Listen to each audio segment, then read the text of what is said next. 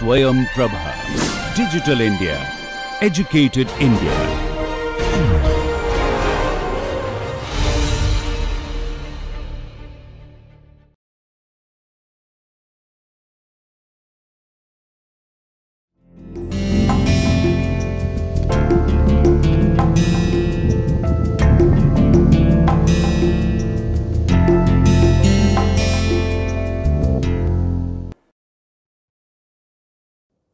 नमस्कार दोस्तों। बीमा विधि के व्याख्यान श्रृंखला में यह मेरा आठवां व्याख्यान है, जो कि समुद्री बीमा की अवधारणा, अर्थात कॉन्सेप्ट ऑफ़ मैरिन इंश्योरेंस के बारे में हम बात करेंगे।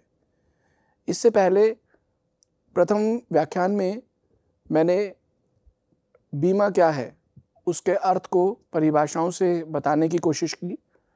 बीमा का कार्य क्या है बीमा की प्रकृति क्या है, नेचर क्या है, उसका दायरा क्या है, स्कोप क्या है, उन सब चीज़ों के बारे में हमने अपने प्रथम व्याख्यान में बात की। दूसरे व्याख्यान में हमने बीमा के ऐतिहासिक विकास के बारे में बात की कि बीमा किस प्रकार उत्पत्ति में आया, विश्व रूप में उसने क्या क्या किस तरीके से काम आगे किया और इसके अलावा भारत के संक्षेप में भी हमने बात की कि किस प्रकार से भारत में इसका आगाज़ हुआ भारत देश में किस प्रकार इसने आगे अपने आप को बढ़ाया? वह क्या कौन सी कमेटीज थी? वे कौन से कानून थे जिनके द्वारा यह मज़बूत और संगठित हुआ? उन सारी चीज़ों के बारे में, उसके विकास के बारे में, किस प्रकार से बीमा ने एग्जिस्टेंस लिया? हमने सब चीज़ों के बारे में अपने दूसरे व्याख्यान में बात की। तीसरे व्याख्यान में हमने जीवन बीमा की अवधारणा कॉन्सेप्ट ऑफ़ लाइफ इंश्योरेंस के बारे में बात की कि जीवन बीमा क्या है? कितने प्रकार के जीवन बीमा हैं? किस तरह के अनुबंधों पर ये आधारित होते हैं। किस तरह से जीवन बीमा को उसका कार्य क्या है उसकी प्रकृति क्या है इन सब चीज़ों के बारे में हमने उस बारे में विस्तार से बात की। अपने चौथे व्याख्यान में मैंने बीमा के सिद्धांतों के बारे में बात की। प्रिंसिपल्स ऑफ़ इंश्योरेंस कि कुछ प्रकार के प्रिंसिपल्स हैं कुछ तरह के समझिए कि आप, आप इसमें बीमा के सिद्धांत हैं जिनके ऊपर किसी भी प्रकार का बीमा का अनुबंध टिका हुआ होता है। अगर कोई बीमा का अनुबंध है तो वह उन सिद्धांतों को फॉलो करता है। ख़ास तौर पे मैंने जनरल प्रिंसिपल्स के बारे में, सामान्य प्रिंसिपल्स और इसके अलावा कॉन्ट्रेक्चुअल प्रिंसिपल्स के बारे में ज़्यादा विस्तार से बात की थी। इसके अलावा अपने अगले व्याख्यान में मैंने इंश्योरेबल रिस्क अर्थात बीमा योग्य जोखिम इनके बारे में बात की। कि जोखिम क्या है, उसकी प्रकृति क्या है कौन से ऐसे जोखिम हैं जो बीमा योग्य हैं और वह कौन से जोखिम हैं जो कि बीमा योग्य नहीं हैं। इस तरह से हमने इसके बारे में, इसके कॉन्सेप्ट के बारे में बात की कि बीमा योग्य जोखिम कौन से हैं। उससे अगले व्याख्यान में मैंने आपसे प्रीमियम के बारे में बात की कि प्रीमियम क्या है, उसकी प्रकृति क्या है, उसका अर्थ क्या है, प्रीमियम क्या होता है और इसकी क्या महत्वता है किसी इंश्योरेंस के अनुबंध में? इससे अगले व्याख्यान में, सातवें व्याख्यान में मैंने I R D A I insurance regulatory development authority of India अर्थात भारतीय बीमा विनायमक एवं विकास प्राधिकरण, इसके बारे में विस्तार से बात की कि आई क्या है, इसके क्या कार्य हैं, इसकी क्या शक्तियाँ हैं, इसका क्या महत्व है इसके अलावा केंद्र सरकार की आईआरडीए को लेकर क्या शक्तियाँ हैं? किस प्रकार से वह उन शक्तियों का इस्तेमाल करती है? इन आईआरडीए के बारे में हमने अपने सातवें व्याख्यान में विस्तार से बातचीत की। आज का हमारा जो आठवां व्याख्यान है, वह समुद्री बीमा की अवधारणा, अर्थात कॉन्सेप्ट ऑफ़ मैरिन इंश्योरेंस पर आधारित रहने वाला है। तो आज हम जो समुद्री बीमा की अवधारणा के बारे में बात करने जा रहे हैं, उसमें मैंने कुछ विषयों को शामिल किया है, जिनके बारे में हम विस्तार से बातचीत करेंगे। सबसे पहले हम समुद्री बीमा क्या है, उसके बारे में जानने की कोशिश करेंगे परिभाषाओं के मदद के साथ। इसके अलावा, समुद्री बीमा की उत्पत्ति किस प्रकार से उसका ओरिजिन हुआ, समुद्री बीमा का ऐतिहासिक विकास कैसे उसका हिस्टोरिकल डेवलपमेंट हुआ, समुद्री बीमा की प्रकृति और उसका दायरा, अर्थात मैरिन इंश्योरेंस की नेचर और मैरिन इंश्योरेंस की स्कोप इन चीज़ों के बारे में हम बात करेंगे और इसके बाद हम प्रिंसिपल्स की बात करेंगे कि मैरिन इंश्योरेंस किन सिद्धांतों पर आधारित है और फिर समुद्री बीमा का वर्गीकरण क्लासिफिकेशंस ऑफ़ मैरिन इंश्योरेंस और कितने प्रकार की समुद्री बीमा पॉलिसियाँ होती हैं और इस समुद्री बीमा का क्या महत्व है? क्या यह समुद्री जीवन में जहाँ पर व्यावसायिक कार्य किए जाते हैं, क्या समुद्री बीमा का महत्व है और अगर है तो कितना है? इन सब चीज़ों के बारे में हम शुरुआत से बात करेंगे। तो सबसे पहले हम समुद्री बीमा के परिचय से, अर्थात कि समुद्री बीमा क्या है, उसके इंट्रोडक्शन से हम बात करते हैं। किसी व्यक्ति को अनिश्चित हानि से बचाने की इच्छा से बीमा का व्यवसाय अस्तित्व में आया। समुद्री बीमा समुद्र और भूमि पर जोखिम को कवर करता है। अर्थात मैरिन इंश्योरेंस ओशियन मैरिन और इनलैंड मैरिन इनको जो जोखिम है इन, यहाँ पर उनको कवर करता है। समुद्री बीमा, जहाज़ मालिकों को समुद्र या अंतर्देशीय जलमार्गों पर जहाज़ों की हानि या क्षति के खिलाफ क्षतिपूर्ति देता है इंडेमनीफाई करता है। यह आग, चोरी या जहाज़ दुर्घटना के कारण रास्ते में खोए या क्षतिग्रस्त हुए माल की भरपाई करता है। तो समुद्री बीमा का काफ़ी महत्व है यह दरअसल जहाज़ों पे किसी भी प्रकार की हानि होती है, या अब अब तो ना सिर्फ़ जहाज़ों पर, बल्कि इनलैंड के अलावा जो आपके इनलैंड मैरिन्स हैं, वहाँ पर भी इस जोखिम को समुद्री बीमा कवर करता है। बीमा एक बहुत ही सरल धारणा है। यदि आपके पास कोई महत्वपूर्ण चीज़ है, जिसके खो जाने या नष्ट हो जाने की स्थिति में आप उसे बदलने का जोखिम नहीं उठा सकते तो आपको बीमा अवश्य खरीदना चाहिए। समुद्री बीमा खरीदने से आपको यह आश्वासन मिलता है कि किसी अप्रत्याशित परिस्थिति की स्थिति में बीमा प्रदाता आपकी जेब पर असर डाले बिना आपके नुकसान को कम कर देगा। हम यह कह सकते हैं कि समुद्री बीमा एक आश्वासन है कि यदि समुद्री रास्ते पर किसी प्रकार की कोई दुर्घटना होती है और वह दुर्घटना अगर बीमा में बीमित है तो आपको आश्वासन मिलता है कि वह उसकी भरपाई आपको पैसे के रूप में की जाएगी। समुद्री बीमा के अनुबंध को शामिल करने वाले औपचारिक दस्तावेज़ फॉर्मल इंस्ट्रूमेंट्स को पॉलिसी और स्लिप या कवरिंग नोट कहा जाता है। यह एक अनौपचारिक ज्ञापन है जो अनुबंध होने पर तैयार किया जाता है। बीमा की गई विषय वस्तु और बीमा के लिए प्रतिफल को क्रमशः बीमाकृत ब्याज और प्रीमियम के रूप में जाना जाता है। जिस व्यक्ति को क्षतिपूर्ति दी जाती है, वह बीमाकृत या इंश्योर्ड होता है और दूसरे पक्ष को जो आपको आश्वासन देता है, वह बीमाकर्ता अर्थात इंश्योरर जाना जाता है या अंडर के नाम से भी हम उसको जानते हैं, क्योंकि वह पॉलिसी अंडर करता है। एक प्रकार का बीमा कवरेज जिसे समुद्री बीमा के रूप में जाना जाता है, का उद्देश्य समुद्री पारगमन या यात्राओं के दौरान उत्पन्न होने वाले जोखिमों और खतरों से बचाव करना है। साथ ही जहाज़ों, कार्गो और अन्य समुद्री हितों की सुरक्षा करना है।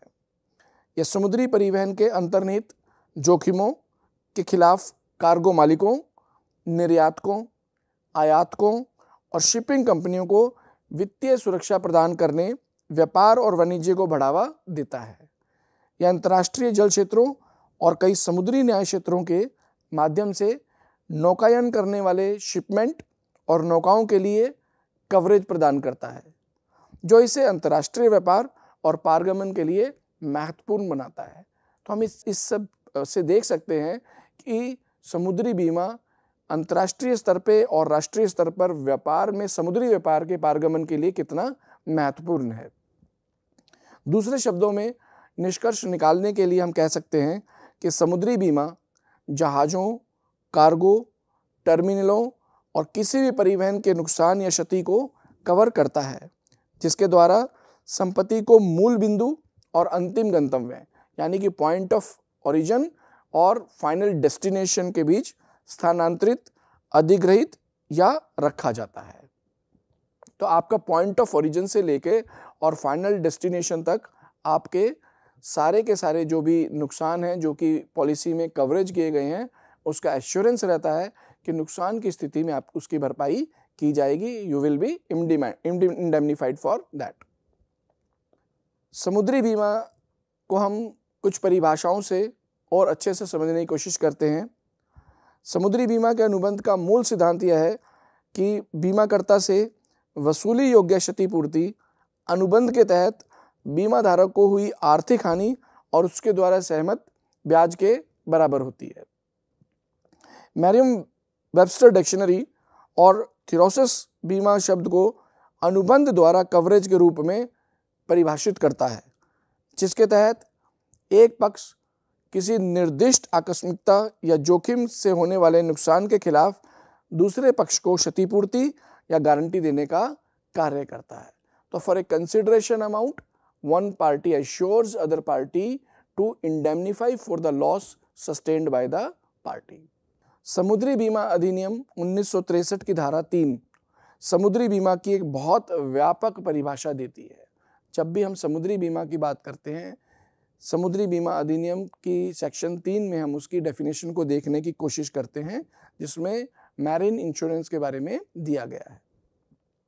समुद्री बीमा का अनुबंध एक ऐसा अनुबंध है जिसके तहत बीमाकर्ता समुद्री हानियाँ अर्थात समुद्री साहसिक कार्यों में होने वाली हानियों के विरुद्ध सहमत तरीके से और सीमा तक बीमित व्यक्ति को क्षतिपूर्ति देने का वचन देता है। तो इस प्रकार बीमाकर्ता बीमाकृत को वचन देता है कि किसी प्रकार की क्षतिपूर्ति में वह उसको कॉम्पनसेट करेगा। समुद्री बीमा अधिनियम 1906 की धारा पाँच के अनुसार बीमा योग्य हित वाला कोई भी व्यक्ति समुद्री बीमा पॉलिसी खरीद सकता है। मूल स्थान से गंतव्य स्थान तक ले जाते समय जो माल या वस्तुएँ खो जाती हैं, किसी भी प्रकार का नुकसान होता है या वह जहाज़ क्षतिग्रस्त हो जाता है, उन्हें समुद्री बीमा द्वारा कवर किया जाता है। विभिन्न प्रकार की समुद्री बीमा योजनाओं में सड़क, रेल, हवाई और समुद्री परिवहन साथ ही कुरियर और डाक सेवाएँ हैं।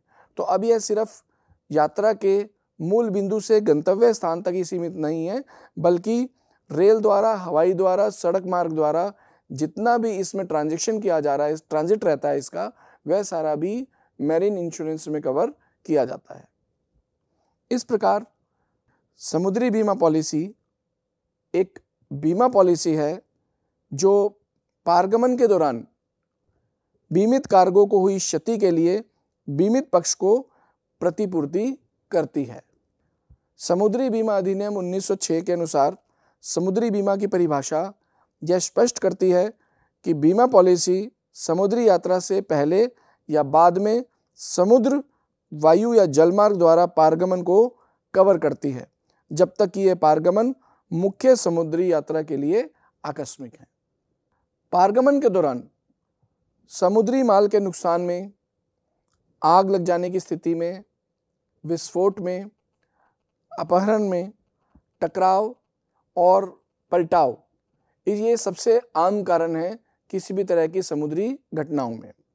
एक समुद्री बीमा पॉलिसी, चोरी, दुर्भावनापूर्ण क्षति, कमी, उत्पादों की गैर डिलीवरी, लोडिंग और अनलोडिंग के दौरान क्षति और कार्गो के दुर्व्यवहार को कवर करने के अलावा विशेष रूप से चयनित योजनाएँ प्रदान कर सकती विभिन्न प्रकार की, समय के साथ विभिन्न प्रकार की समुद्री बीमा योजनाओं ने भी जन्म लिया, जिसमें विभिन्न प्रकार की पॉलिसियाँ, विभिन्न प्रकार की दुर्घटनाओं को कवर करने के लिए अवेलेबल हैं। अब हम बात करते हैं कि समुद्री बीमा की उत्पत्ति कैसे हुई? किस प्रकार से समुद्री बीमा एग्जिस्टेंस में आया? ओरिजिन ऑफ़ मैरिन इंश्योरेंस समुद्री बीमा की उत्पत्ति ऐतिहासिक समाज जितनी ही पुरानी है। बीमा का सबसे पुराना रूप बॉटोमरी अनुबंधों के रूप में पाया जाता है, जो 4000 से 3000 ईसा पूर्व बेबीलोन के व्यापारियों द्वारा प्रचलित था। यह 600 ईसा पूर्व के दौरान भारत में हिंदुओं द्वारा भी प्रचलित था।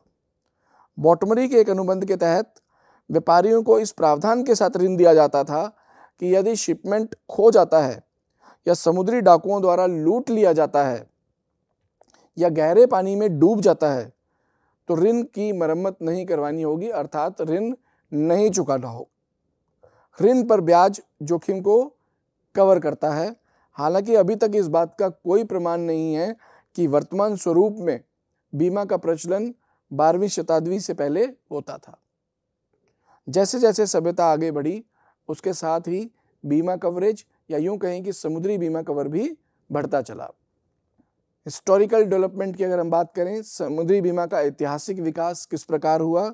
तो पहले, सबसे पहले हम वैश्विक स्तर की बात करते हैं ग्लोबल डेवलपमेंट की बात करते हैं कि किस तरह से एग्जिस्टेंस में आया।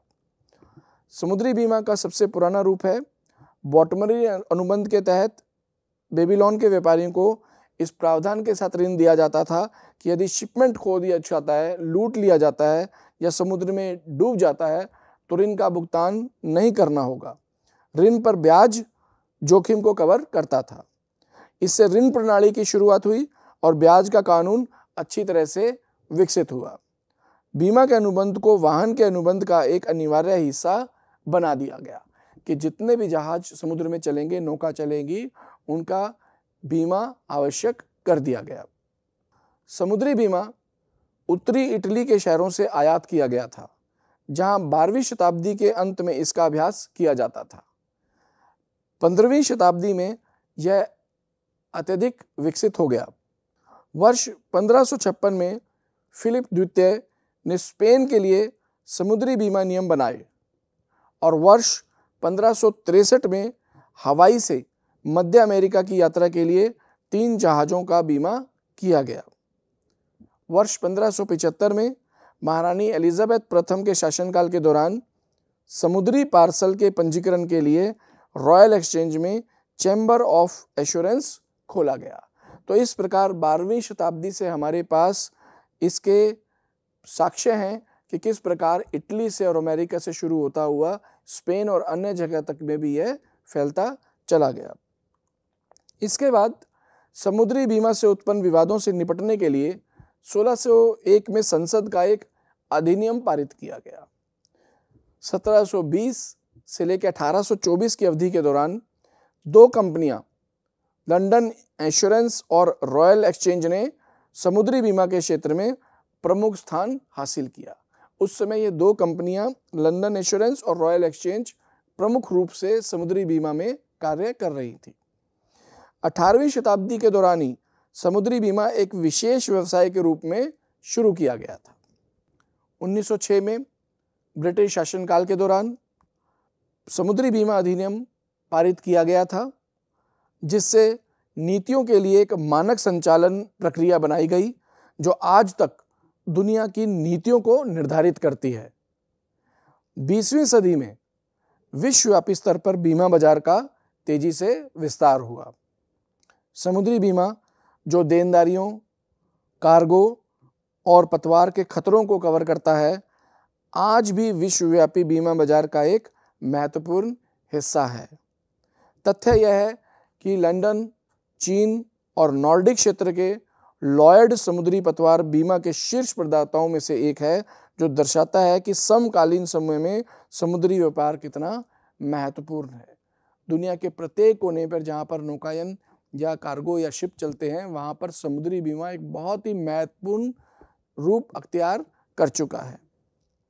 विशेषज्ञ समुद्री बीमा प्रदाता असामान्य या कठिन खतरों में सुरक्षा प्रदान करने के लिए आवश्यक हैं, जो पारंपरिक बीमाकर्ता प्रदान करने में सक्षम नहीं हो सकते।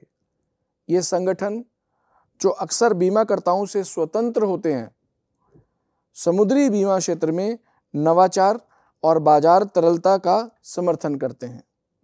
अनुकूलन और नवाचार के माध्यम से समुद्री बीमा, जहाज़ मालिकों, कार्गो मालिकों और समुद्री वाणिज्य में अन्य हितधारकों के हितों की रक्षा करना जारी रखता है। तो इस प्रकार असामान्य या कठिन खतरों के समय पर बीमा, समुद्री बीमा काफ़ी काम आता है और ऐसा नुकसान वहन करना हर के बस का नहीं होता है। इसीलिए यह समुद्री बीमा अस्तित्व में आया और व्यापक रूप में वैश्विक स्तर पर फैला। समुद्री कार्गो बीमा, शिपिंग के अंतर्निहित जोखिमों के खिलाफ आवश्यक वित्तीय सुरक्षा प्रदान करता है, जो कार्गो मालिकों और शिपर्स के हितों की रक्षा के लिए महत्वपूर्ण है। यदि कार्गो हितधारकों के पास एक व्यापक समुद्री कार्गो बीमा पॉलिसी है तो वे पारगमन की चुनौतियों को विश्वास के साथ संभाल सकते हैं। यह जानते हुए कि अप्रत्याशित परिस्थितियों की स्थिति में उनका पर्याप्त बीमा किया गया है। भारत में समुद्री बीमा के विकास के बारे में अगर हम चर्चा करें तो हम कह सकते हैं कि भारत में समुद्री बीमा की वृद्धि अभूतपूर्व रही है। इसका एक गहरा इतिहास है। इसका उल्लेख मनु द्वारा धर्मशास्त्र में और कौटिल्य द्वारा अर्थशास्त्र में मिलता है। यह आग, बाढ़, अकाल और महामारी जैसी प्राकृतिक आपदाओं में एक दूसरे की मदद करने के बारे में कहते हैं। लेकिन जैसा कि आज दुनिया जानती है, समुद्री बीमा की उत्पत्ति इंग्लैंड में हुई। अंग्रेज़ों ने सतारह से 1810 के बीच कलकत्ता में सात समुद्री बीमा कंपनियाँ खोली। अंग्रेज़ों के शासनकाल में हमारे देश में समुद्री बीमा कंपनियाँ खुलनी शुरू हुई। भारत में समुद्री बीमा अधिनियम उन्नीस पारित करके समुद्री बीमा के कानून को वैधानिक रूप दिया गया था। यह मूल अंग्रेज़ी कानून पर आधारित था। अधिनियम की प्रस्तावना, अर्थात प्रियम्बल में कहा गया है कि यह समुद्री बीमा से संबंधित कानून को संहिताबद्ध करने वाला एक अधिनियम है। अर्थात समुद्री बीमा अधिनियम उन्नीस एक कोडिफाइड लॉ है। समुद्री बीमा के विभिन्न प्रकार के कानूनों को कोडिफाई किया गया था इस कानून के तहत। कानून से पहले, कानून की शाखा से संबंधित प्रश्नों का निर्णय, भारतीय अनुबंध अधिनियम अठारह सौ बहत्तर के सामान्य कानून और 1906 के ब्रिटिश समुद्री बीमा अधिनियम द्वारा किया जाता था। उन्नीस के कानून के अस्तित्व में आने से पहले कॉन्ट्रैक्ट एक्ट और इसके अलावा जो समुद्री बीमा कानून था 1906 का, जो ब्रिटिश का था, उसके द्वारा ही समस्याओं का समाधान किया जाता था। समुद्री बीमा विधेयक मैरिन इंश्योरेंस बिल संसद के दोनों सदनों द्वारा पारित होने के बाद 18 अप्रैल उन्नीस को राष्ट्रपति की सहमति प्राप्त करता है और एक अधिनियम बन गया, उन्नीस के नाम से जिसे हम जानते हैं। इस अधिनियम को निरसन और संशोधन अधिनियम 1974 द्वारा संशोधित किया गया था। आज दुनिया भर में बढ़ते व्यापार के कारण भारत में समुद्री बीमा ने एक विशाल कैनवास धारण कर लिया है, जिसमें बड़ी शिपिंग कंपनियाँ शामिल हैं, जिन्हें समुद्र के खतरों के खिलाफ अपने बेड़े की सुरक्षा की आवश्यकता होती है। आज़ादी के बाद से भारतीय नौवहन में उल्लेखनीय वृद्धि हुई है और भारतीय बीमा को सुचारू रूप से आगे बढ़ाने के लिए अब भारतीय परिस्थितियों के अनुसार भारतीय कानून बनाए जाते हैं। कानून बनाने से पहले कानून के क्षेत्र से संबंधित निर्णय, अनुबंध के सामान्य कानून सिद्धांतों के साथ साथ अंग्रेज़ी केस कानून और सामान्य अनुबंध कानून का उपयोग करने के लिए किए जाते थे। भारतीय अधिनियम अनिवार्य रूप से अंग्रेज़ी संस्करण की एक प्रति है, जो इसकी रूपरेखा का बारीकी से पालन करता है और जहाँ आवश्यक हो उससे थोड़ा हटकर अलग है, यानी कि भारतीय परिस्थितियों के अनुरूप थोड़ा सा स्लाइटली उसको डिफरेंट किया गया है, अथवा जो भारतीय अधिनियम है, सामान्य रूप से वह अंग्रेज़ी कानून की ही एक कॉपी है। लेकिन जैसा कि इसके अंग्रेज़ी समकश के मामले में भारतीय अधिनियम में समुद्री बीमा के केवल कुछ कानूनी सिद्धांतों और नियमों को शामिल किया गया है और इसकी भाषा इतनी संक्षिप्त और सामान्य है कि इसके पूर्ण आयात और अर्थ को इसके बिना शायद ही समझा जा सकता है। समुद्री कार्गो बीमा शिपिंग के अंतर्निहित जोखिमों के खिलाफ आवश्यक वित्तीय सुरक्षा प्रदान करता है, जो भारत में कार्गो मालिकों और शिपर्स के हितों की रक्षा के लिए महत्वपूर्ण है। यदि कार्गो हितधारकों के पास एक व्यापक समुद्री कार्गो बीमा पॉलिसी है तो वे पारगमन की चुनौतियों को विश्वास के साथ संभाल सकते हैं यह जानते हुए कि अप्रत्याशित परिस्थितियों की स्थिति में उनका पर्याप्त बीमा किया गया है। काफ़ी हद तक समुद्री बीमा जो है, वह भी उसी प्रकार जनरल इंश्योरेंस और लाइफ इंश्योरेंस की तरह ही काम करता है, जिसमें व्यक्ति को गारंटी रहती है कि कुछ कंटिजेंसी हैपन होने पर, कुछ अप्रत्याशित स्थितियाँ उत्पन्न होने पर उनका बीमा किया गया है और समुद्र के द्वारा किसी भी प्रकार में कोई भी हानि होगी तो उसकी क्षतिपूर्ति की जाएगी। ऐतिहासिक डेवलपमेंट के बाद में हम समुद्री बीमा के नेचर और स्कोप को जानने की कोशिश करते हैं कि समुद्री बीमा की प्रकृति और दायरा क्या है। समुद्री बीमा की प्रकृति और दायरा, संघीय समुद्री बीमा अधिनियम उन्नीस सौ तिरानवे की धारा 6 के संदर्भ में और समुद्री बीमा अधिनियम की समुद्री साहसिक, मैरिन एडवेंचर और समुद्री खतरों, मैरीटाइम पेरिल्स की परिभाषाओं द्वारा निर्धारित किया जाता है। यह क्षतिपूर्ति का एक अनुबंध है, लेकिन क्षतिपूर्ति की सीमा अनुबंध द्वारा निर्धारित की जाती है। यह किसी समुद्री साहसिक कार्य या किसी जहाज़ के निर्माण, मरम्मत या लॉन्चिंग से पहले होने वाले आकस्मिक नुकसान से संबंधित है। यह समुद्री बीमा की प्रकृति है कि जिस समय पर जहाज़ बन रहा होता है, वहाँ से लेकर और उसकी लॉन्चिंग लॉन्चिंग के बाद उसकी मरम्मत तक का सारा कार्य जो है, वह समुद्री बीमा में कवर किया जाता है। नुकसान में क्षति या क्षति के साथ साथ समुद्री खतरों से उत्पन्न होने वाली संपत्ति की वास्तविक हानि भी शामिल हो सकती है। समुद्री खतरे का अर्थ है, समुद्र के नेविगेशन के परिणाम स्वरूप या उससे जुड़े खतरे, यानी समुद्र के खतरे, आग, युद्ध के खतरे, समुद्री डाकू रोवर्स चोर, कब्जा, जब्ती, संयम और हिरासत में राजकुमार और लोगों, जेटिसन, बेरटरी और अन्य किसी भी प्रकार के खतरे या समान प्रकार के खतरे जिन्हें नीति द्वारा निर्दिष्ट किया जा सकता है। यह भारतीय समुद्री बीमा अधिनियम उन्नीस की धारा टू ई और अंग्रेज़ी अधिनियम 1906 की धारा तीन दो में उल्लिखित है। भारत में समुद्री बीमा का दायरा बहुत बड़ा है और इसमें कई प्रकार के जोखिम और खतरे शामिल हैं।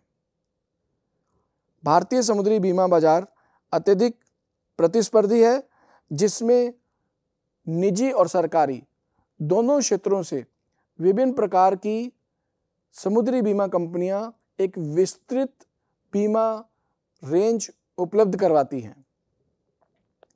इन उत्पादों में पतवार बीमा, अर्थात हल इंश्योरेंस कार्गो बीमा कार्गो इंश्योरेंस समुद्री दायित्व बीमा मैरिन लाइबिलिटी इंश्योरेंस और समुद्री पुनर्बीमा मैरिन री इंश्योरेंस सहित अन्य शामिल हैं। भारत में समुद्री बीमा का दायरा अंतर्देशीय जल परिवहन अपटतीय ऊर्जा और जहाज़ निर्माण और मरम्मत जैसे समुद्री संबंधित व्यवसायों तक भी फैला हुआ है। आज भारत में समुद्री बीमा एक संपन्न उद्योग है, जिसमें घरेलू और अंतर्राष्ट्रीय दोनों खिलाड़ी अर्थात दोनों प्रकार की कंपनियाँ, जहाज़ मालिकों, कार्गो और समुद्री उद्योग में अन्य हितधारकों को बीमा उत्पादों की एक विस्तृत श्रृंखला पेश करते हैं। भारत में समुद्री बीमा का दायरा पारंपरिक पतवार और कार्गो बीमा से आगे बढ़कर दायित्व बीमा, समुद्री युद्ध जोखिम बीमा और साइबर बीमा जैसे विशेष उत्पादों की एक श्रृंखला को शामिल करने के लिए आगे बढ़ चुका है। इसके अलावा इसकी प्रकृति और इसके स्कोप को समझने के बाद, इसके दायरे को समझने के बाद कि कितनी विस्तृत श्रृंखला में हमारे पास भारतीय समुद्री बीमा के उत्पाद अवेलेबल्स हैं जो ना सिर्फ़ तट से हैं, बल्कि आपके उद्गम के बिंदु से लेकर और गंतव्य स्थान तक जो कुछ भी सामान या विभिन्न प्रकार की जो स्थितियाँ हैं, उनको वह कवरेज प्रदान करता है। इसका दायरा बहुत विस्तृत है। अब हम भारत में कुछ समुद्री बीमा प्रदान करने वाली कंपनियों के बारे में उल्लेखित करते हैं। इनमें से कुछ प्रमुख रूप से जो कंपनियाँ हैं, वे हैं new India insurance company, oriental insurance company ICIC Lombard general insurance company, Tata AIG बीमा company, Bajaj Allianz general insurance company, SBI general insurance company और HDFC agro general insurance company. कुछ सिद्धांत हैं बीमा के, जिनके बेसिस पर समुद्री बीमा का अनुबंध तैयार किया जाता है।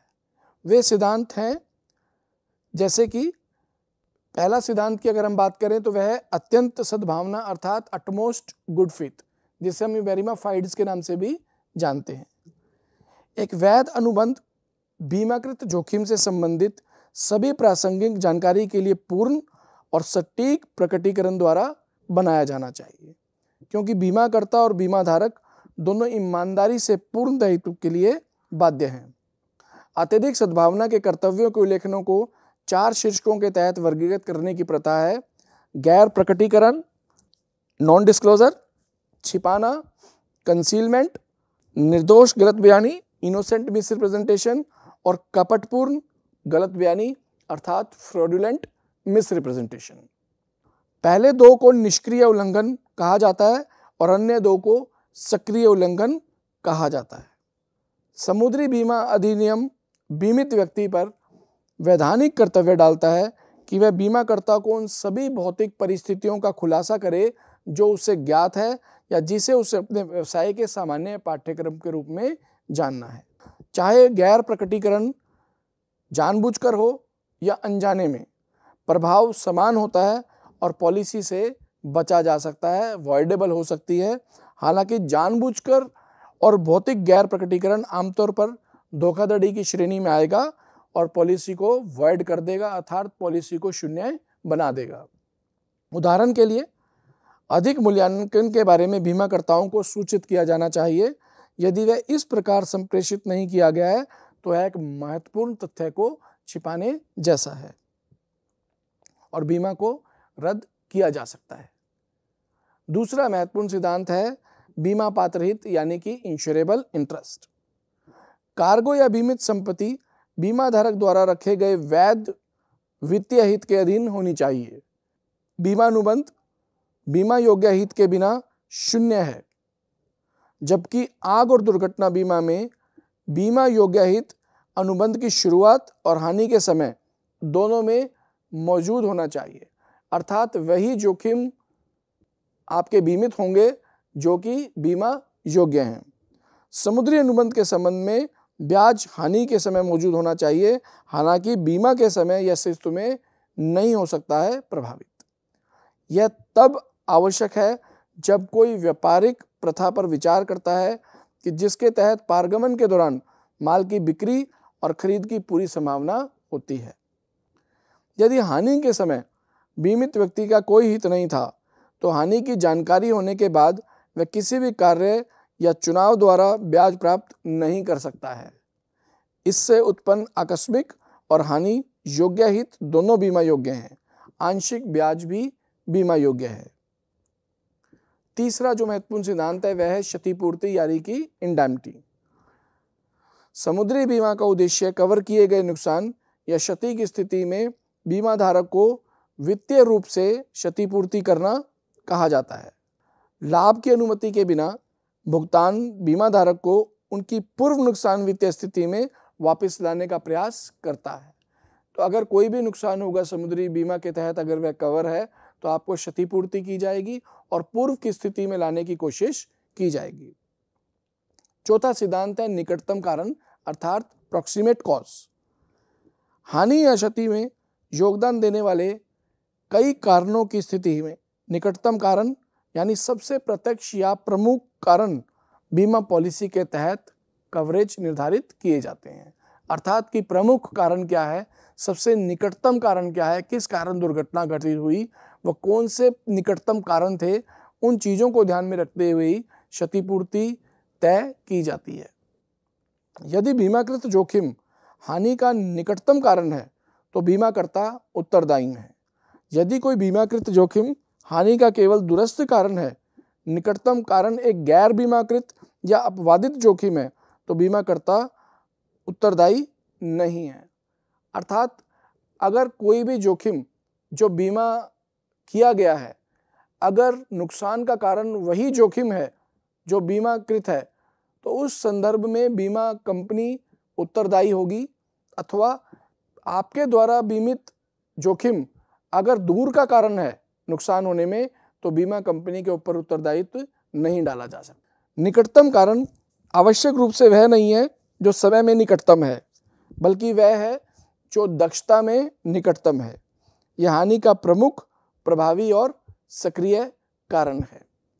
पांचवा जो महत्वपूर्ण सिद्धांत है, वह है प्रस्थापन, यानी कि सबरोगेशन बीमाकर्ता बीमा धारक को भुगतान करने के बाद नुकसान के लिए अन्य पक्षों पर मुकदमा करने का बीमाकर्ता को अधिकार ले सकता है। बीमाकर्ता भुगतान की गई दावा राशि की राशि वसूलने में सक्षम है। प्रतिस्थापन का अधिकार क्षतिपूर्ति के अनुबंध की एक आवश्यक घटना है और मोटे तौर पर कहें तो विशेष अनुबंध की अनुपस्थिति में बीमाकर्ता को बीमित व्यक्ति के नाम पर प्रतिस्थापन से उत्पन्न होने वाले सभी उपायों का प्रयोग करना चाहिए। सबरोगेशन का मतलब है, प्रतिस्थापन का मतलब है कि अगर बीमाकर्ता ने बीमा धारक को किसी प्रकार का भुगतान किया है तो वह तीसरे पक्ष से अब आपके स्थान पर खड़ा होगा और वह तीसरे पक्ष से उस नुकसान को वसूलने का हकदार होगा। समुद्री बीमा में जहाँ बीमाकर्ता कुल नुकसान के लिए भुगतान करता है, वह परित्याग के लिए भुगतान की गई विषय वस्तु में से जो कुछ भी बचा हो, उसमें बीमित व्यक्ति का हित लेने का अधिकार है। अर्थात, मान लीजिए माल वाहक वाहक जहाज़ में अब वह स्थिति नहीं है कि आगे कभी काम कर पाएगा, वह बिल्कुल जर्जर हालत में हो चुका है, टूट फूट चुका है तो बीमा कंपनी ने आपको पहले तो मुआवजा दिया और उसके बाद जो कुछ भी बची कुछ स्थिति है, उसके ऊपर में अब बीमा कंपनी का हक होगा। और वह हानि के समय से बीमित व्यक्ति के सभी अधिकारों और उपायों के अधीन है, यानी कि सबरोगेशन में आ जाता है। जहाँ एक बीमाकर्ता आंशिक हानि के लिए भुगतान करता है तो उसे बीमाकृत विषय वस्तु या उसके शेष हिस्से पर कोई अधिकार प्राप्त नहीं होता है, लेकिन वह उस समय से बीमित व्यक्ति के सभी अधिकारों और उपायों से वंचित हो जाता है। हानि और जहाँ तक आश्वासन दिया गया है, क्षतिपूर्ति की गई है। अर्थात, अगर बीमा कंपनी ने बीमा धारक को एक आंशिक रूप से एक पार्शियल लॉस का एक पार्शियल उसको अमाउंट दिया है जितना लॉस हुआ है वो दिया है तो उसके बाद उसका विषय वस्तु पर कोई अधिकार नहीं बनता है। वह सिर्फ़ बीमा की क्षतिपूर्ति करता है। समुद्री बीमा में हानि के भुगतान के बाद ही प्रतिस्थापन लागू होता है। बीमाकर्ता अधिकारों और उपचारों के संबंध में केवल उस राशि तक की वसूली का हकदार है, जिसका उसने भुगतान किया है। अर्थात राइट टू सबरोगेशन प्रतिस्थापन का जो अधिकार है वह किसी प्रकार के नुकसान हो जाने के बाद ही एग्जिस्टेंस में आता है। अर्थात अगर किसी प्रकार का नुकसान होता है और बीमा कंपनी अगर नुकसान की भरपाई करती है, चाहे पूर्ण रूप से, आंशिक रूप से, उसके बाद ही आपका ये सबरोगेशन का जो अधिकार है, वह एग्जिस्टेंस में आता है। एक हामीदार केवल बीमाकृत विषय वस्तु के संबंध में बीमित व्यक्ति के अधिकारों का हकदार है, जहाँ तक कि उसने बीमित व्यक्ति को क्षतिपूर्ति दी है। छठा महत्वपूर्ण सिद्धांत है कंट्रीब्यूशन का, अर्थात योगदान का। योगदान का विचार तब लागू होता है, जब कोई जोखिम एक से अधिक बीमा पॉलिसी द्वारा कवर किया जाता है। उनकी व्यक्तिगत पॉलिसियों की शर्तों और सीमाओं के अनुसार प्रत्येक बीमाकर्ता दावे के खर्चों के लिए एक अनुपातिक राशि का योगदान देता है। बीमाकर्ताओं के बीच योगदान के रूप में अधिनियम की धारा 80 अधिनियमित करती है कि जहाँ बीमित व्यक्ति दोहरे बीमा से अधिक बीमाकृत है, प्रत्येक बीमाकर्ता अपने और अन्य बीमाकर्ताओं के बीच उस राशि के अनुपात में हानि के लिए योगदान करने के लिए बाध्य है, जिसके लिए वह अपने अनुबंध के तहत उत्तरदायी है। अर्थात आपने एक से ज़्यादा पॉलिसी ली हुई है और आपको नुकसान हुआ है तो प्रत्येक कंपनी उसी प्रपोर्शन में आपको अपना अंश देने के लिए बाध्य है। यदि कोई बीमा करता हानि के अपने अनुपात से अधिक भुगतान करता है तो वह अन्य बीमाकर्ताओं के खिलाफ योगदान के लिए कार्रवाई करने का हकदार है। और एक जमानतदार के रूप में समान उपचार का हकदार है, जिसने ऋण के अपने अनुपात से अधिक भुगतान किया हुआ है। इंग्लैंड के हेल्सबरी के कानूनों के अनुसार योगदान देने से पहले एक शर्त पूरी होनी चाहिए। शर्त यह है कि प्रत्येक नीति हानि के समय लागू होनी चाहिए। यदि कोई पॉलिसी पहले ही रद्द हो चुकी है या उसके तहत जोखिम अभी तक नहीं जुड़ा है तो यह योगदान नहीं है। जिस बीमाकर्ता से अंशदान का दावा किया गया है, वह अपनी पॉलिसी के तहत दायित्व को इस आधार पर अस्वीकार कर सकता है कि बीमित व्यक्ति ने एक शर्त तोड़ दी है। योगदान का विचार तब लागू होता है जब कोई जोखिम एक से अधिक बीमा पॉलिसी द्वारा कवर किया जाता है, उनकी व्यक्तिगत पॉलिसियों की शर्तों और सीमाओं के अनुसार प्रत्येक बीमाकर्ता दावे के खर्चों के लिए एक अनुपातिक राशि का योगदान देता है। तो यह कुछ बीमा के सिद्धांत थे, जो समुद्री बीमा के सिद्धांत, जो एक समुद्री अनुबंध को, बीमा अनुबंध को बनाने में सहायक होते हैं। अब हम बात करते हैं समुद्री बीमा के वर्गीकरण की अर्थात क्लासिफिकेशन ऑफ़ मैरिन इंश्योरेंस की। समुद्री बीमा को चार वर्गों में वर्गीकृत किया गया है। प्रथम, पतवार बीमा, अर्थात हल इंश्योरेंस इसमें जहाज़, पतवार, उसकी मशीनरी, यानी फर्नीचर और फिटिंग मशीनरी, उपकरण, ईंधन इत्यादि का बीमा शामिल है। यह आमतौर पर जहाज़ के मालिक द्वारा किया जाता है। पतवार जहाज़ की संरचना है। मशीनरी वह उपकरण है जो जहाज़ को चलाने के लिए शक्ति उत्पन्न करती है और प्रकाश और तापमान प्रणाली जैसे बॉयलर, इंजन, कूलर और बिजली जनरेटर आदि को नियंत्रित करती है। दूसरा वर्गीकरण है कार्गो बीमा। इसमें जहाज़ में मौजूद कार्गो या सामान और चालक दल और यात्रियों के व्यक्तिगत सामान शामिल हैं। तीसरा वर्गीकरण है फ्रीट इंश्योरेंस अर्थात माल ढुलाई बीमा। यह माल ढुलाई के नुकसान से सुरक्षा प्रदान करता है। कई मामलों में माल का मालिक अनुबंध की शर्तों के तहत माल ढुलाई का भुगतान करने के लिए बाध्य होता है, जब माल गंतव्य के बंदरगाह पर सुरक्षित रूप से वितरित किया जाता है। यदि जहाज़ रास्ते में खो जाता है या माल क्षतिग्रस्त हो जाता है या चोरी हो जाता है तो शिपिंग कंपनी को भाड़े का भुगतान होता है। अर्थात किसी भी प्रकार के माल ढुलाई में अगर नुकसान होता है तो यह माल ढुलाई बीमा उसमें सुरक्षा प्रदान करता है। चौथा वर्गीकरण है देयता बीमा, अर्थात लाइबिलिटी इंश्योरेंस यह वह बीमा है जिसमें बीमा करता उस नुकसान के खिलाफ क्षतिपूर्ति करने का वचन देता है जो बीमा धारक को जहाज़ की टक्कर और अन्य खतरों के कारण किसी तीसरे पक्ष के दायित्व के कारण हो सकता है। अर्थात थर्ड पार्टी लाइबिलिटी किसी प्रकार की टक्कर हो जाए या किसी प्रकार की क्षति हो जाए किसी अन्य के आचरण से, तृतीय पक्ष के आचरण से तो उस समय पर यह आपको सुरक्षा प्रदान करता है। तो यह चार वर्गीकरण है मैरिन इंश्योरेंस के। अब हम बात करते हैं कि मैरिन इंश्योरेंस कितने प्रकार की हैं, अर्थात समुद्री बीमा पॉलिसियों के कितने प्रकार हैं? अन्य विभिन्न प्रकार की समुद्री बीमा पॉलिसियाँ हैं, जो बीमा कंपनियों द्वारा ग्राहकों को पेश की जाती हैं। इसके विभिन्न प्रकार हैं। प्रथम, यात्रा और समय नीति, अर्थात वॉयज एंड टाइम पॉलिसी यात्रा पॉलिसी उस प्रकार की समुद्री बीमा पॉलिसी है, जो किसी विशेष यात्रा के लिए वैध होती है, चाहे इसमें कितना भी समय लगे। इस मामले में जोखिम तभी जुड़ता है जब जहाज़ यात्रा पर शुरू होता है और गंतव्य के लिए बंदरगाह पर निर्धारित होता है, यह आमतौर पर उस बंदरगाह को निर्दिष्ट करके किया गया है, जहाँ यात्रा शुरू होनी है और वह बंदरगाह जहाँ यात्रा समाप्त होती है। दूसरी प्रकार की पॉलिसी है, मिश्रित पॉलिसी अर्थात मिक्स्ड पॉलिसी। एक समुद्री बीमा पॉलिसी, जो ग्राहक को समय और यात्रा पॉलिसी दोनों का लाभ प्राप्त करती है उसे मिश्रित पॉलिसी के रूप में मान्यता दी जाती है। तीसरा प्रकार है मूल्यवान पॉलिसी, अर्थात वैल्यूड पॉलिसी। इस प्रकार की पॉलिसी में कार्गो और कंसाइनमेंट का मूल्य सुनिश्चित किया जाता है और पॉलिसी दस्तावेज़ में पहले से उल्लेख किया जाता है कि किस यात्री पर और किस क्रू स्टाफ के पास में कितना सामान है। उन सब की एक लिस्ट बनाई जाती है उस दस्तावेज़ में उल्लेख किया जाता है, जिससे कार्गो और कंसाइनमेंट को किसी भी नुकसान के मामले में प्रतिपूर्ति के मूल्य के बारे में स्पष्ट किया जा सकता है। तो उस सारे सामान की जानकारी उस पॉलिसी में विस्तृत रूप से दी जाती है, जो उस जहाज़ का हिस्सा होता है।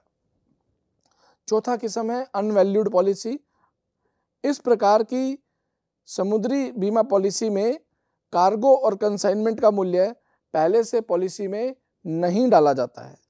इसलिए माल और खेप के हुए नुकसान का निरीक्षण और मूल्यांकन करने के बाद ही प्रतिपूर्ति की जाती है। इस प्रकार की पॉलिसीज़ में कितना सामान किस प्रकार का जा रहा है, कुछ भी जानकारी नहीं होती है। सर्वेयर्स सर्वे करते हैं नुकसान के बारे में और जितना नुकसान हुआ है उसकी क्षतिपूर्ति की जाती है। आधुनिक व्यवहार में ये नीतियाँ शायद ही कभी अस्तित्व में हैं। अर्थात अभी इस समय पर वैल्यूड पॉलिसीज़ ज़्यादा अस्तित्व में हैं।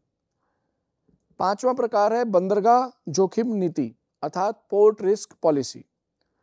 बंदरगाह पर तैनात रहने के दौरान जहाज़ की सुरक्षा सुनिश्चित करने के लिए इस प्रकार की समुद्री बीमा पॉलिसी निकाली गई थी। छठा प्रकार है दांव लगाने की नीति, अर्थात वेजरिंग पॉलिसी। दांव लगाने की नीति वह नीति है जहाँ प्रतिपूर्ति की कोई निश्चित शर्तों का उल्लेख नहीं किया गया है। यदि बीमा कंपनी को नुकसान दावे के लायक लगता है तो प्रतिपूर्ति प्रदान की जाती है, अन्यथा कोई मुआवजा नहीं दिया जाता है।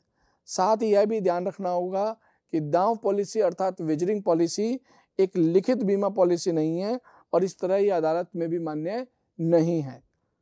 समुद्री बीमा अधिनियम उन्नीस की धारा छ वेजरिंग के अनुबंधों से बचने का प्रावधान करती है।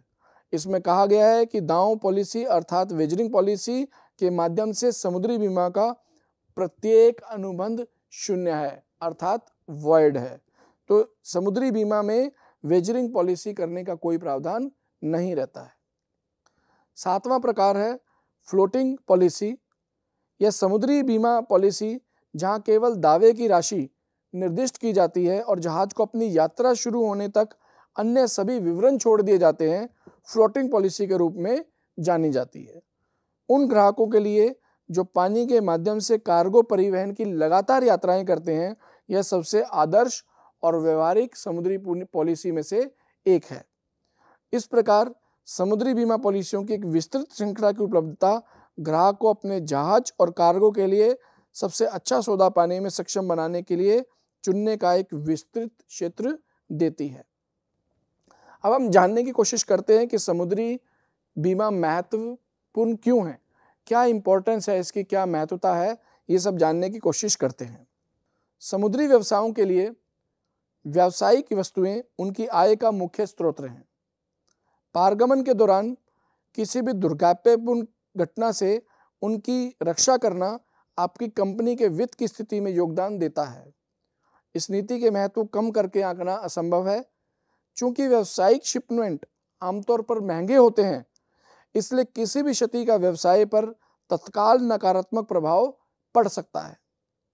समुद्री बीमा, शिपिंग उद्योग और अंतर्राष्ट्रीय व्यापार की आधारशिला के रूप में खड़ा है, जो अपरिहार्य सुरक्षा प्रदान करता है और सुचारू संचालन की सुविधा प्रदान करता है। समुद्री बीमा के महत्व पर ज़ोर देने के लिए कुछ मुख्य बिंदु हैं, जैसे कि सबसे पहले बात करें तो यह हानि से सुरक्षा प्रदान करता है। समुद्री बीमा किसी माल, जहाज़ या उपकरण के टुकड़े के परिवहन के दौरान होने वाले संभावित नुकसान से सुरक्षा प्रदान करता है। इन घटनाओं के महत्वपूर्ण वित्तीय परिणामों को देखते हुए वित्तीय क्षति को कम करने और सभी हितधारकों के लिए व्यापार निरंतरता की गारंटी के लिए समुद्री बीमा आवश्यक है। दूसरी महत्ता है कानूनी आवश्यकताओं का अनुपालन करना, अर्थात कंप्लायंस ऑफ़ लीगल रिक्वायरमेंट्स कई देशों को नियामक मानकों का अनुपालन करने के लिए समुद्री कार्गो बीमा की आवश्यकता होती है।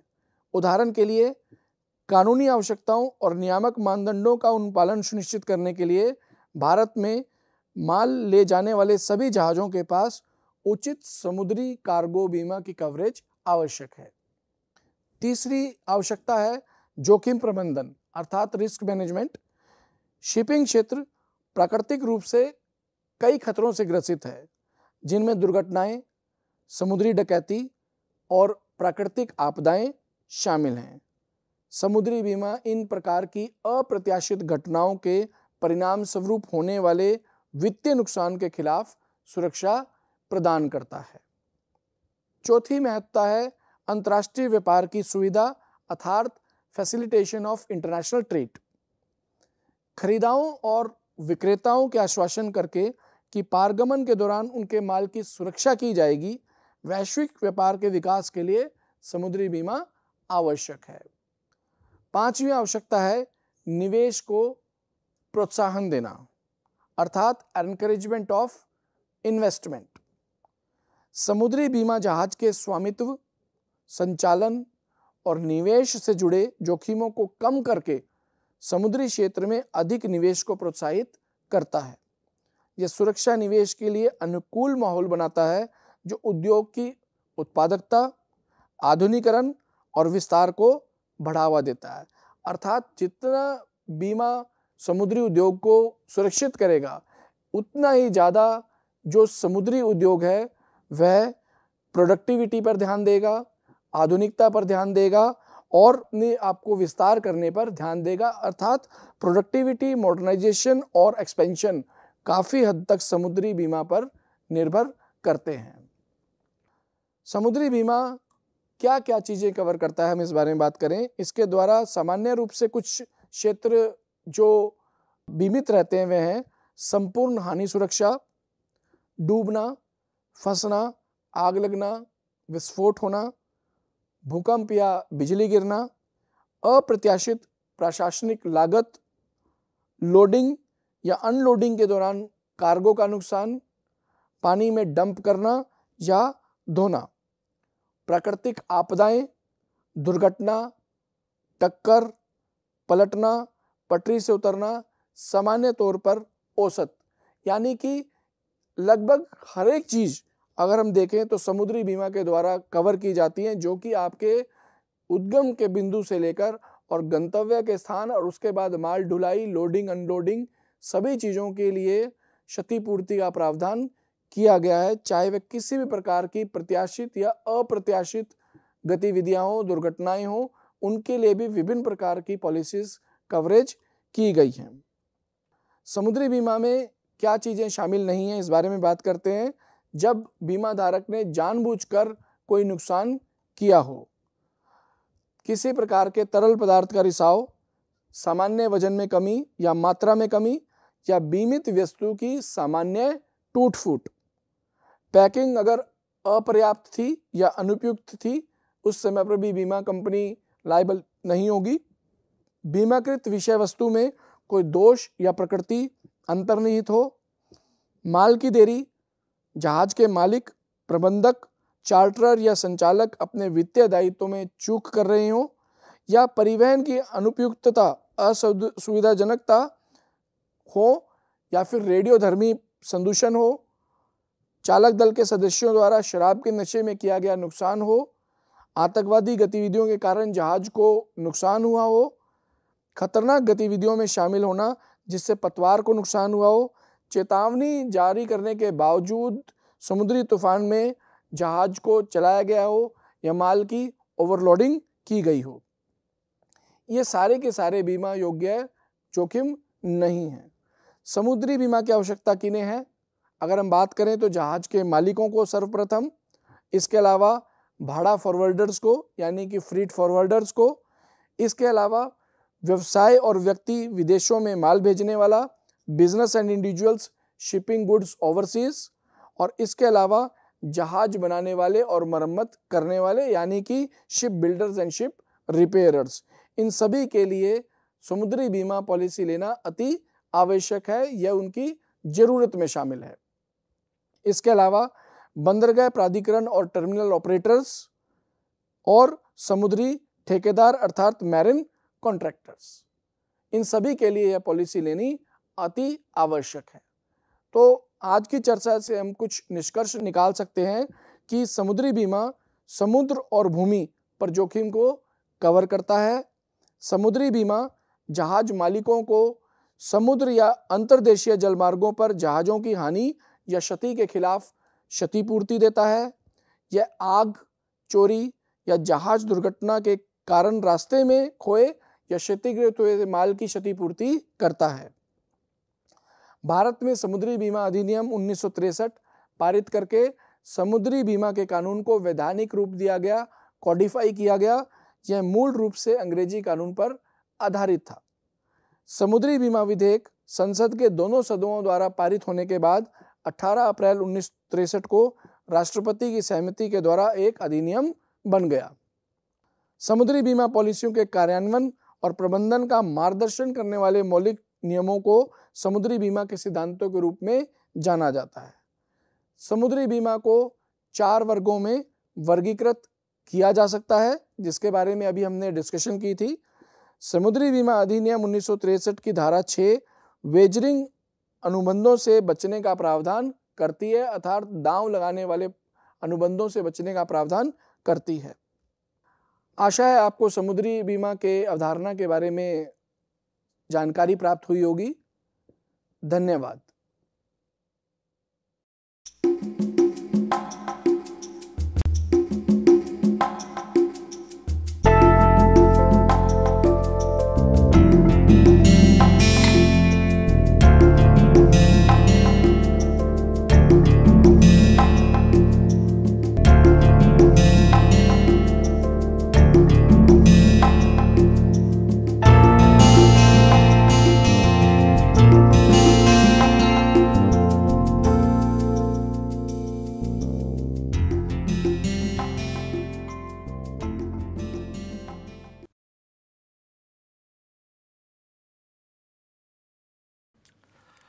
Hello and welcome to this piece of literary snippet. Perhaps the most popular literary genre after novel is the short story. Sharp, compact narratives whose charm lies not only in what is said, but also in what remains unsaid. Today I will be reading one of the shortest instances of a short story that I have ever encountered and indeed the very charm of this particular story that I am going to read out today lies in the way it abruptly ends. It is an ancient tale from Mesopotamia which has been retold by several authors among whom the name of Somerset Maugham stands out. Uh, the adaptation that I will be reading out is perhaps the closest to the one that Maugham wrote.